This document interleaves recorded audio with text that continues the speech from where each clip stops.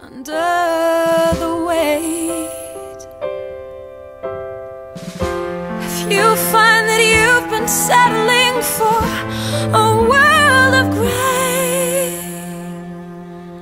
so you wouldn't have to face down your